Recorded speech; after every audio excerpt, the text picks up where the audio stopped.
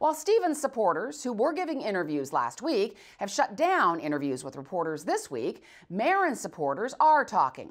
One of those in that meeting was Western Ohio pastor and Republican Representative Gary Click. He says Stephens lied to him in saying he would not challenge Merrin, and he says some of Stephens' supporters lied to him as well.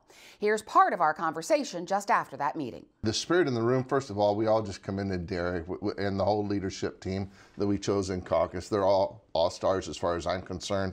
They're wonderful people and they deserve our respect and our loyalty. Uh, people have been wondering, is there going to be a coup against the coup? And there's not. Uh, I, have said oftentimes, you know, you have to work with what you have instead of what you what you had or, or what you think you deserve or even what you ought to have. So this is this is what we have. So we're not we're not trying to be obstructionist. In fact, what we want to make sure is that the super minority party, the 22, that they're not obstructionists. We, we promised our constituents conservative legislation. We all promised that on the campaign trail. That's how we got a super majority. And, you know, they, they had to kind of sell their soul in a sense to the Democrat Party. And they're beholden to Allison Russo. If she doesn't like something, she's got control uh, over the speaker right now. And we just want to make sure that we don't get sold down the stream. We want to advance you know, what was formerly known as HJR 6. You saw that we this took is the 60% uh, voter approval for constitutional correct, amendments. Correct. Uh, we want to get that across. We have time to do that. The question is, you know, he says he didn't sell us out on that.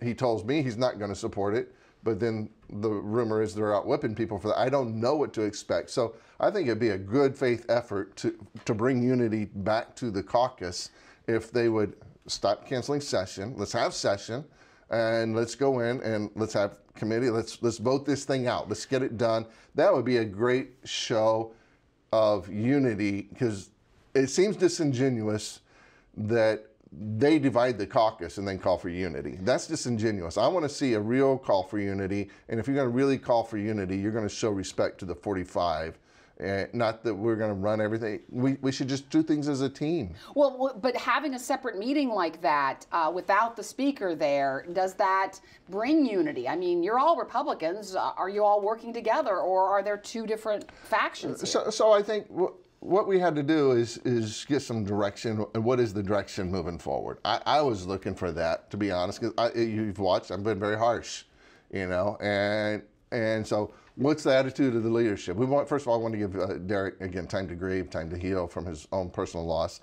But then, okay, what what do we? Let, us not just everyone go down his own way. And what do we do? And, you know, uh, Representative Merrin was the first one to say, if Jason Stephen puts out something that's good and that's solid, he's, I'm going to be the first one to support it. So he set that tone. We kind of had to have a little family conference in that to say, okay, what do we do? Because there's a there's temptation to be an obstructionist. There's temptation to, to go along to get along, and there's temptation just to let's just fight for what we believe in. And I think we needed that family conference to say, okay, let's come together, let's work with them where we can, uh, but let's also make sure that the majority of our the values of our caucus don't get left in the dust. So this wasn't a third caucus being formed, uh, or was it? I don't know.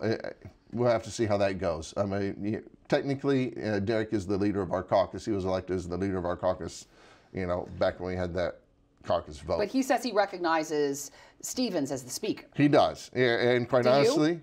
well, that's a good question because quite honestly, I've not called him Speaker Stephens before um, because I feel like it was illegitimately done. But you know, Derek set the pace today. He called him Speaker Stephens, so I'll call him Speaker Stephens. Is part of this also some concern about who controls the Ohio House Republican Alliance campaign account, which has about 3.3 million dollars in it? Mm-hmm. Where does that money go, and who has control of it? Is that part of the whole well, I debate think that, as well? I think that yeah, that is a part. Of, that is a part of the question because you know that money belongs to the caucus, and the caucus should control that, and the caucus is the majority of the caucus is with Representative Merrin. And so there's 45 solid there, there's 22 on the other side. And uh, I think, honestly, I think it would be very conciliatory of uh, Speaker Stephens to reach out to Derek and uh, Representative Merrin and say, okay, let's, let's do this together uh, as a team uh, and work that out and, and, give Derek some authority in that, or yield some of that. I mean, quite honestly, we're the majority of the caucus, we're in control.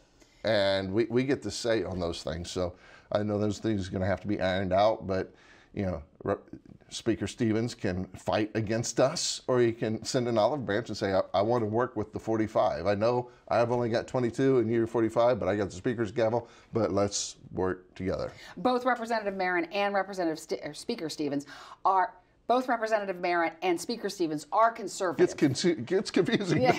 yeah, they are conservative, though. Both of uh, these gentlemen are conservative. So, what are you worried about that's not going to get moved forward? So, conservatives don't make deals with Democrats.